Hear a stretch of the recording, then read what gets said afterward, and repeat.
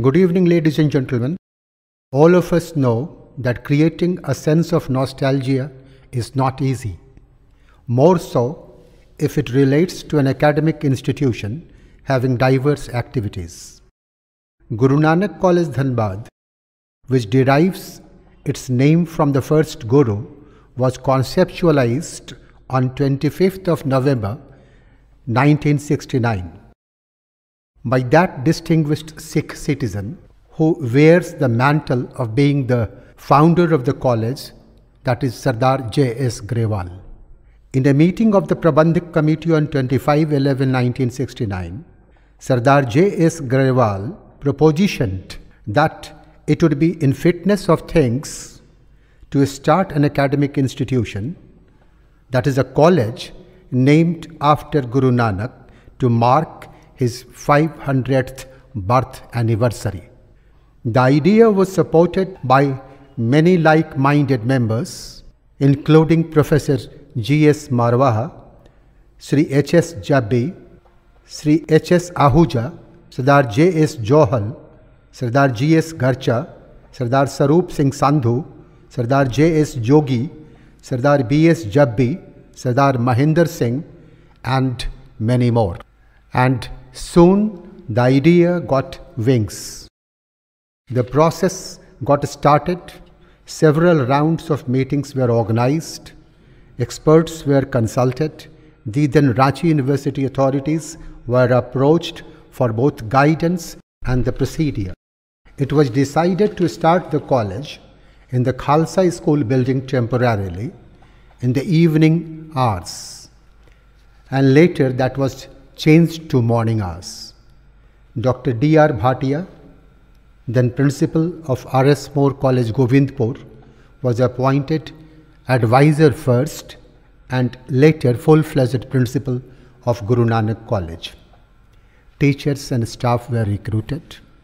The university, after having inspected and satisfied that the resources available were adequate and after having been satisfied with the noble intentions of the founding members, granted temporary affiliation with effect from 1970 academic session itself and granted the college the status of a Sikh religious minority college.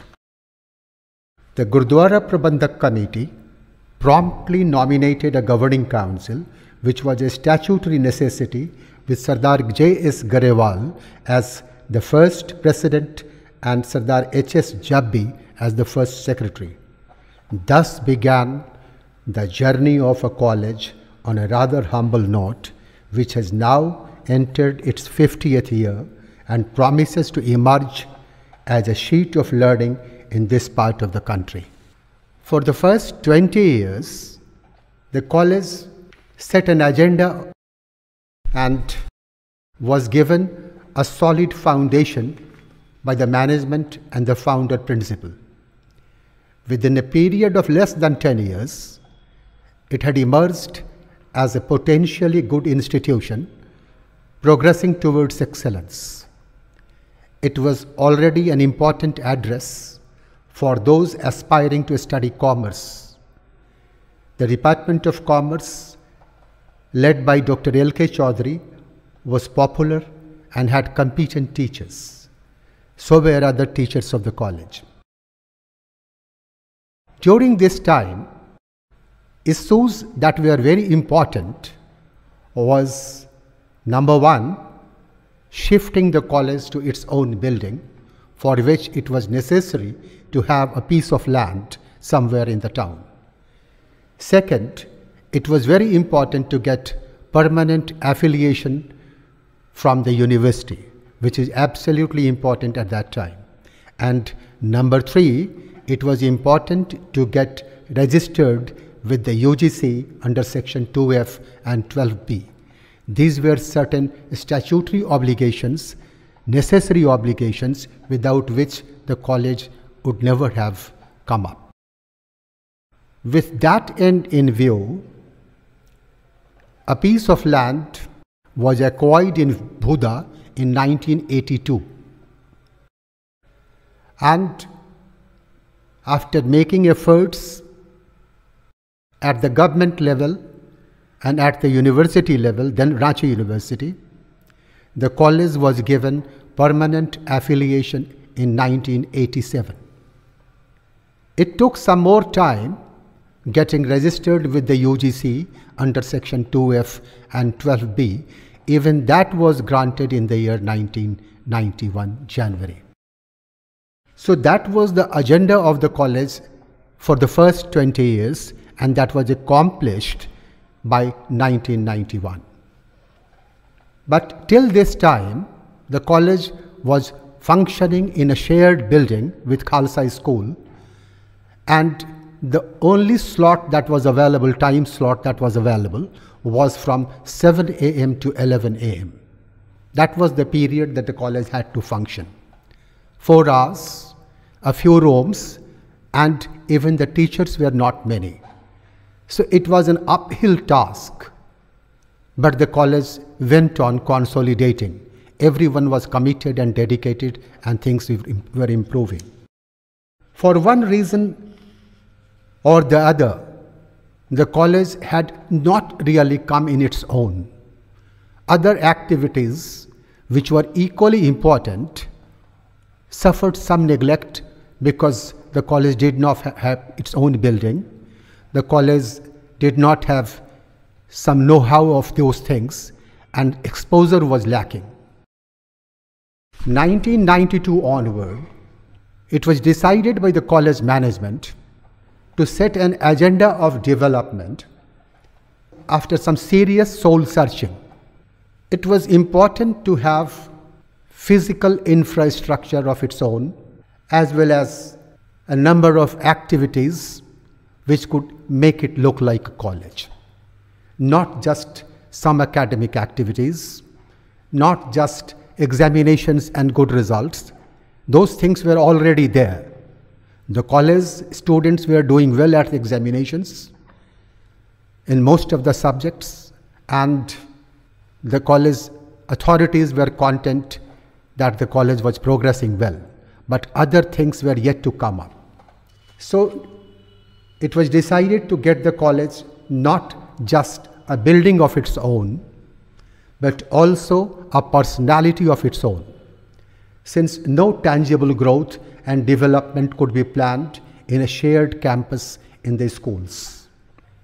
The college management at that time, led by stalwarts like Sardar Joginder Singh Johal and Sardar Gurbakh Singh Garcha, were able to get the first help from BCCL they were able to get the first block of the new building at Bhuda constructed with the help of BCCL and the CMD BCCL came to the college, came to the site to lay the foundation stone of the college in the year 1994. Soon thereafter, Bharat Coking Coal Limited, on the ground that many of the students of the college were coming from the home of those people who were employed with BCCL, who were working in BCCL. So from the welfare department, they sanctioned 10 lakh rupees to the college, a generous help at that time in early 90s when first construction work began in 1995. After that, things happened in a cluster. Most of the construction was completed in the ground floor by the end of 1996 and other furnishings were started and finally in 1997 the college was shifted from Khalsa School premises to its own building in Bhuda in 1997. The occasion was celebrated with fanfare. None other than the Chancellor of the Universities of Bihar, the Governor Sri A.R. Kidwai, came and inaugurated the new building of the college in 1997, 16th November. That was a great moment. The entire university was in Guru Nanak College, the Vice Chancellor Dr. Nag, other officials of the universities, HODs, principals coming from different places. Everyone graced the occasion when the new building was dedicated to the society by Dr. A.R. Kidwai, a scholar in his own right. Thereafter, one after another, the college went ahead, marched ahead. In the year 2000, on the pressure from the society, the college management decided that the old premises, the school premises where the college functioned, should be utilized for educating girls, for spreading the light of education among the girls of Wasseypur who needed this kind of help and support. So, with that end in view, a women's wing was set up, started in the year 2000. Within a year, 2001, November, December, a IGNOU study center was set up in the Bankmore campus in the Khalsa School premises and that study center is known as 3603 which is still continuing with the college. And before long, that is in 2005, we had new construction done on the second floor of the building of Khalsa School with exclusive rights for Guru Nanak College B.Ed wing and B.Ed education, B.Ed teaching was started which we continued to run for nine years. The college went from strength to strength. In 2011, a new construction was completed, three-storied building on a land provided by Gurdwara Prabandhak Committee to the college, which has been named Vocational Studies Department. And two subjects which were sanctioned to the college by the university and by the state government were started at that time. Both were three-year degree course. One is Bachelor of Computer Applications, and the second was Bachelor of Journalism and Mass Communication. So the college had really diversified, had started new courses, new activities. This BCA, Bachelor of Computer Applications, is still going strong, and the icing on the cake is that it has got a kind of understanding with IIT Bombay, which provides open tutorial program to the college, to the students of the college, not just computer students, every student, even a commerce student, even a history student, even a literature student. And they are given training of computer by teachers of IIT Bombay online. They conduct examination also and they grant award certificates also, which is a definite value addition to the degree that we provide to our students. That will certainly help them fetch good jobs into companies. Besides, Guru Nanak College Dhanbad has got the distinction of being the first FOSS center, that is free open source software center in Jharkhand. It was inaugurated by the regional head of a spoken tutorial program of IIT Bombay, along with the Vice Chancellor of Vinoba Bhave University, Dr. Gurdeep Singh. That program is going on successfully and the college has really been able to be take advantage of that program. Similarly, the college, by way of curricular development, has designed some courses of computer training and some courses of communication skill in English for the students of our college itself as add-on courses.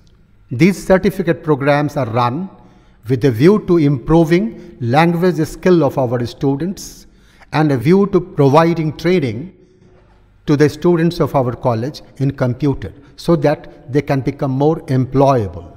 That was the idea. The program has really been successful and has been going on unchanged, unaltered. Only things have been improving with the passage of time. As for the extracurricular activities, that is sports and games, from 93 onwards, the college has taken part in most of the sporting activities of the university. It would be a good thing to say with a sense of pride and satisfaction that during the last 25 years that the college was affiliated to Vinoba Bhave University, that is from 92 to 2018, the college won the inter-college cricket championship not once and twice, but 15 times. That's a kind of a record. Not just that, the college was host to this tournament for at least a dozen times during this time, during this period of 26 years. So that's a record of sorts. Every year, even this year, the university team of cricket had at least half a dozen students from our college. That is no mean satisfaction. Similarly, in chess, the college won the university championship seven times. In badminton, four times. In rifle shooting, three times. In volleyball, also twice. And even in athletics, once. So the college had definitely plunged headlong into sporting activities of the university and is now famous for being a very important sporting institution. As for cultural activities, a college which did not participate in any of the youth festivals till 1996 or maybe till 1999, yes, till 1999, is now either the champion or the runners up for the last 10 years. Most of the students who went for East Zone Inter-University Youth Festival this year were from this college only. 19 out of 30. That's a record of sorts. Similarly, we have got a Department of Creativity on the suggestion of one of the team leaders of Guru Nanak College Youth Festivals, Ranjana Das, that there should be training and teaching of cultural things, dance, music, fine arts in the college.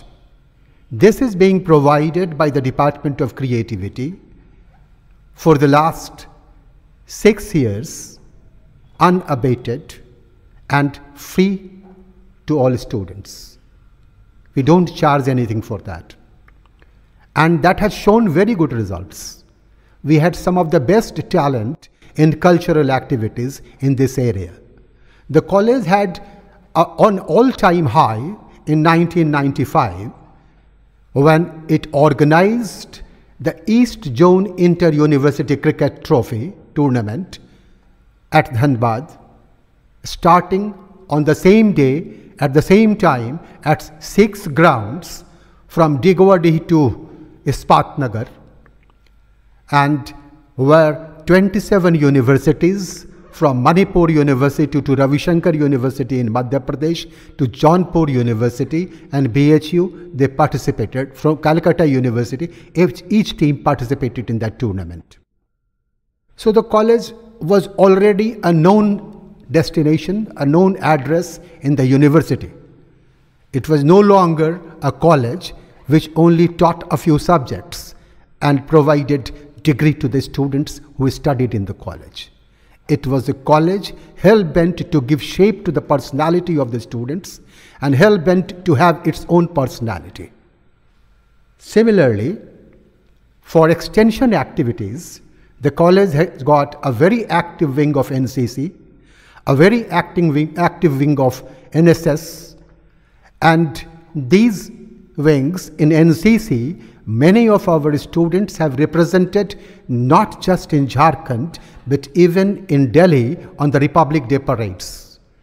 They have gone to NIS programs. Many of our students have joined army from NCC and There are at least two dozen students getting C certificate and three dozen students getting B certificate everywhere. Similarly, in NSS, these students have organized many camps in a village named Dhokhala, which has been adopted by the college. And the camps are organized on a regular basis, seven day camp, two day camp, three day camp for having a number of awareness programs. The NSS also organizes yoga day in the college, also organizes blood donation camps in the college, and has been doing a very useful and commendable job.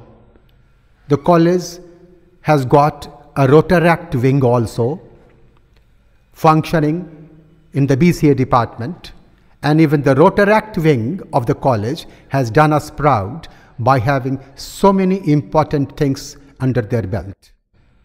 There is a Jivan Jyoti school, a school for the handicapped in the city, where these students go and do some work.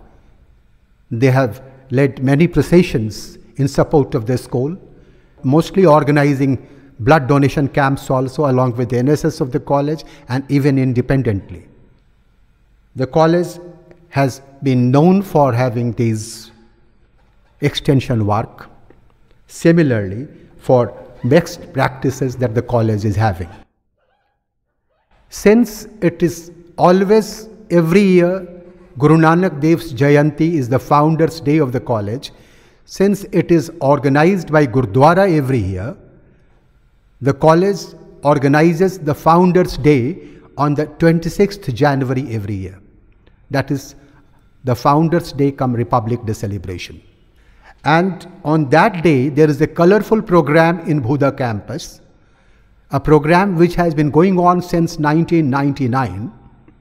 And every year it is going from strength to a strength, where more than 200 of the achievers, student achievers, and performers are felicitated, are given mementos by the college, certificates by the college, and where the people from the management, members of the management, are personally present to felicitate the students. A report is presented, and that is celebrated as the Founders' Day. This is one best, best practice which has been going on for the last 20 years. Similarly, another of the best practices is induction program organized by the college before the classes commence in the vocational studies department.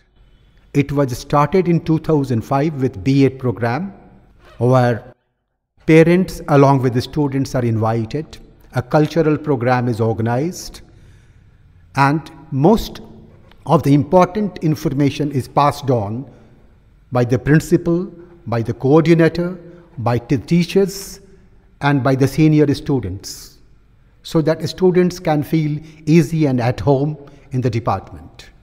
And after that, there is a lunch, Guru ka langar, every year after an induction program. This is also one of the best practices.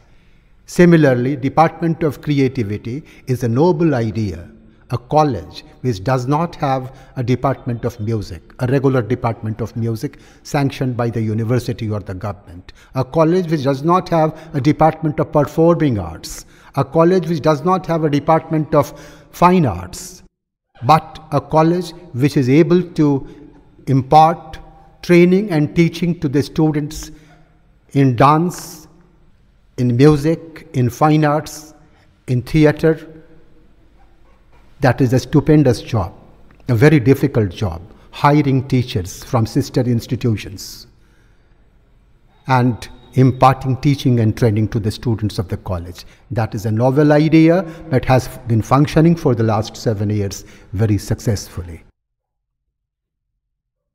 The most important moment of the college, the moment of reckoning, as I would say, came when NAAC peer team visited the college in 2015.